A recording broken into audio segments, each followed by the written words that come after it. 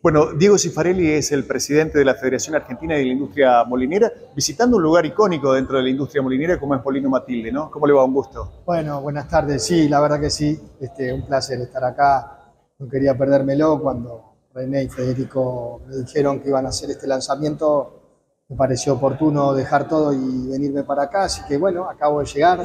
Seguramente será una jornada extraordinaria aprovecho para mandarle un saludo a René, que, no puede estar presente y que se recupere pronto. Pero bueno, para la molinería, para la Federación de la Industria Molinera, tener asociados y empresas históricas del calibre de Molino Matilde hace que uno como presidente del sector se sienta reconfortado, ¿no? Cuando te toca ir a pelear por el sector y representar a estos empresarios, realmente uno lo hace con orgullo, con holgura y sabiendo que lo que uno pelee va a estar este, respaldado por el accionar de empresarios de primera línea. Así que una felicidad enorme estar acá.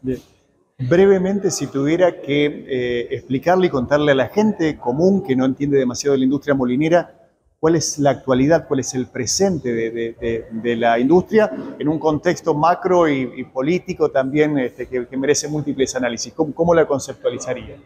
Bueno, la industria hoy está pasando un momento de los muchos que ha vivido. Imagínense que la mayoría de los molinos tienen más de 100 años este, en nuestro país, por lo tanto no son economías de, que, no, que no hayamos vivido, pero estamos en un momento, diría, de un quiebre, porque bueno, hoy empieza a ser la competitividad y la calidad de las harinas la que marquen la diferencia en la clientela. Eh, los molinos han invertido mucho en tecnología y en trabajo de investigación y desarrollo, y la molinería tenemos la suerte de que aún demonizando la harina, que no es lo que corresponde, porque ya hemos dado prueba de que la harina no engorda, sino todo en su debida cantidad, no, no hay ningún problema.